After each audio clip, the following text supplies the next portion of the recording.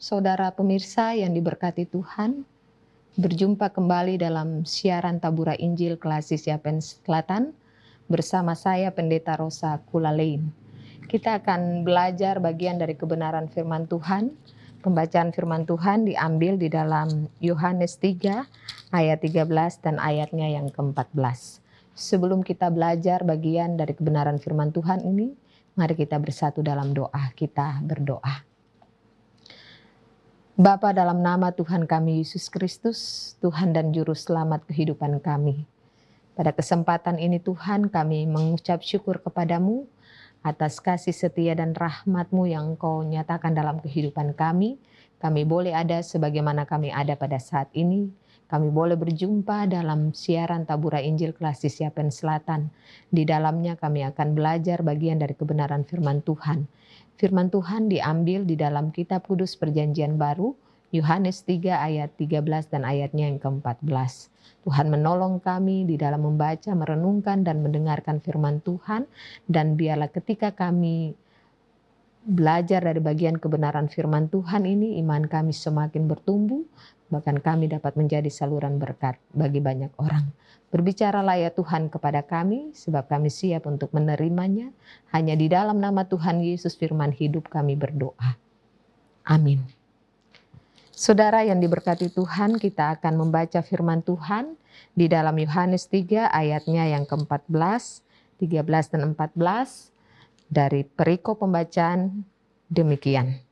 Percakapan dengan Nikodemus. Ayatnya yang ke-13 dan 14 Demikian kebenaran firman Tuhan. Tidak ada seorang pun yang telah naik ke sorga selain daripada dia yang telah turun dari sorga, yaitu anak manusia. Dan sama seperti Musa meninggikan ular di padang gurun, demikian juga anak manusia harus ditinggikan. Demikian bagian kebenaran firman Tuhan. Bagian kebenaran firman Tuhan ini akan dituntun dengan sebuah tema pengorbanan anak manusia karena kasihnya. Saudara yang diberkati dan yang dikasih oleh Yesus Kristus, pada Yohanes 3, pada bagian kebenaran firman Tuhan ini kita tahu pada ayatnya yang ke-16 merupakan ayat yang sangat familiar yang dikumandangkan kepada kita. Terlebih dalam hari-hari perayaan kesengsaraan menanti kebangkitan Tuhan, yaitu karena begitu besar kasih Allah akan dunia ini, sehingga ia mengaruniakan anaknya yang tunggal, supaya setiap orang yang percaya kepadanya tidak binasa, melainkan beroleh hidup yang kekal. Ternyata sebelum ayat 16 ini terjadi percakapan antara Yesus dan Nikodemus. Nikodemus seperti yang disuarakan atau ditulis pada ayat yang pertama dari bagian kebenaran firman Tuhan ini menunjukkan bahwa dia adalah seorang Farisi. Dia bukan orang yang biasa-biasa saja dari kalangan Farisi, melainkan ayat 1 sangat menjelaskan bahwa dia seorang pemimpin agama Yahudi pada waktu itu. Tentu dia adalah seorang yang sangat terpandang sebab dia adalah seorang pemimpin. Namun di ayat yang kedua, dia pergi menjumpai Yesus pada waktu malam hari. Mungkin ini adalah waktu yang tepat untuk dia bertemu dengan Yesus. Dia mengevaluasi atau berbincang-bincang dengan Yesus dan mempertanyakan pertanyaan yang mengganjal di hatinya. Lalu ketika dia bertemu dengan Yesus, dia mempertanyakan seperti tertulis pada ayat 2 dan dilanjutkan pada ayat yang ketiga tentang kelahiran baru. Dan sesungguhnya pada pembacaan firman Tuhan hampir keseluruhan dari ayat pertama sampai dengan ayat yang terakhir, Yesus mau menegaskan tentang poin kelahiran kembali. Dilahirkan kembali yang membuat Nikodemus salah memahami atau salah memaknai sehingga dia menyatakan mana mungkin seorang akan dilahirkan kembali secara fisik sedangkan dia sudah tua. Tapi maksud Yesus di sini adalah bukan dilahirkan secara fisik, bukan dilahirkan kembali secara fisik, melainkan Yesus menegaskan di ayat yang kelima dan keenam dan seterusnya, dilahirkan kembali dari air dan roh. Mengapa air dan roh? Bapak Ibu Saudara yang diberkati Tuhan, Air merupakan lambang keselamatan melalui baptisan kudus.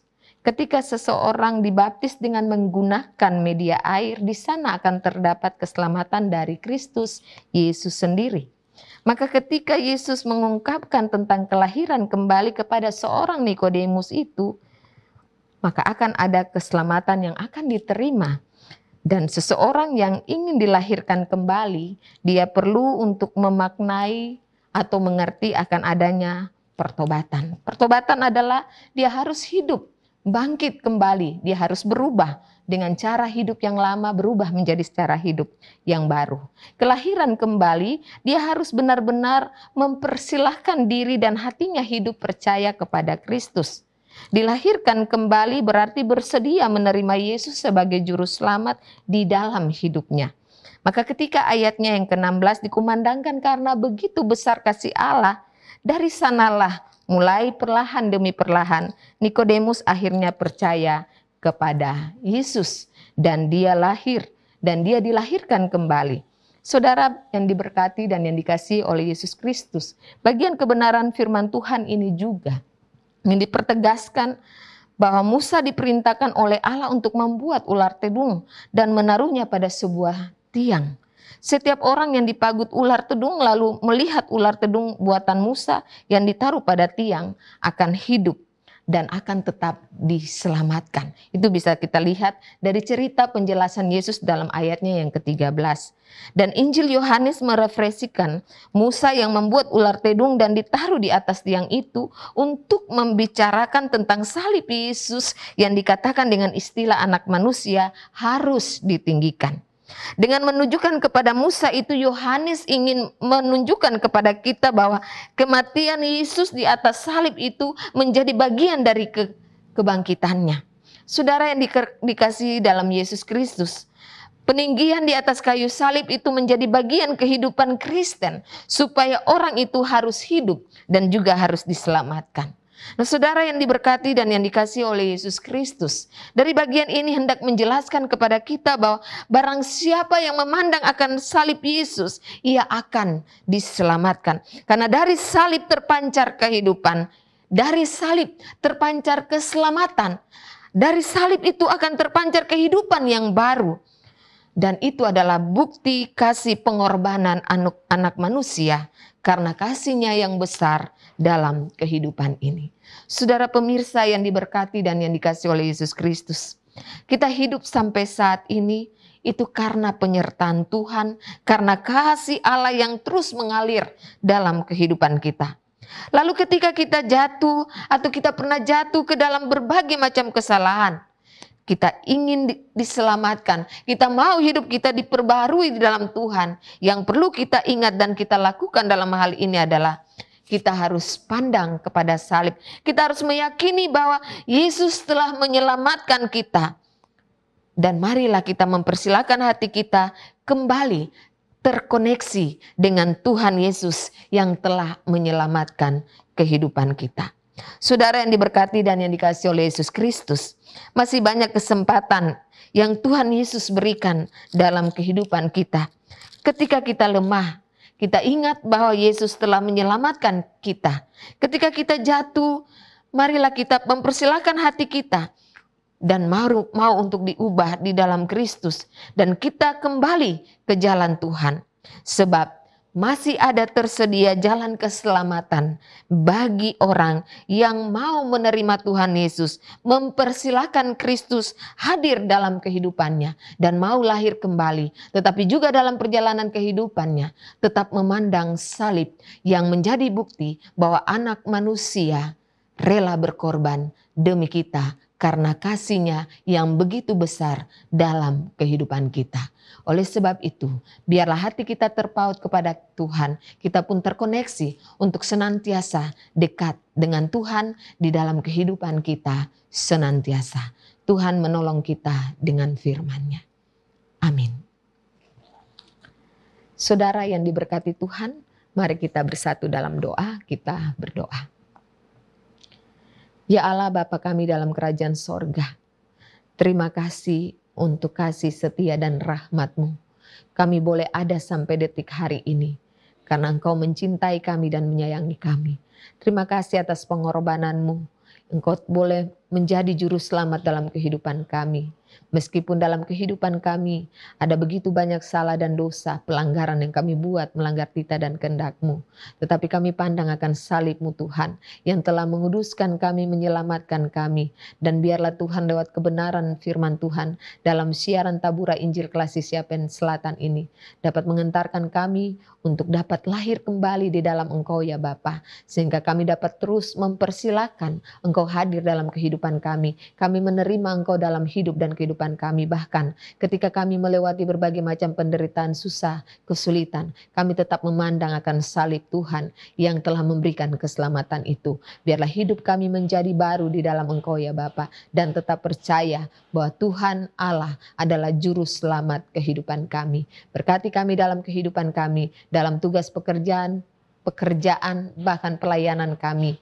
Berikanlah kami hati yang tulus ikhlas untuk setia bekerja, untuk senantiasa taat dan mengabdi kepada Engkau Tuhan. Memberkati kami dalam setiap usaha jerih lelah keringat kami. Dan biarlah Tuhan kasih dan setia rahmat Tuhan senantiasa melingkupi kehidupan kami. Kami hidup di dalam kasih dan sayang Tuhan senantiasa. Tuhan Bapa dalam kerajaan sorga, kami menyerahkan semua yang menjadi tanggung jawab kami ke dalam tangan kasih-Mu Tuhan.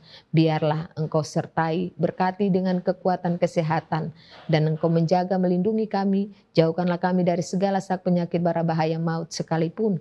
Tetapi Tuhan hadirkan perdamaian, perlindungan yang abadi yang berasal dari Tuhan.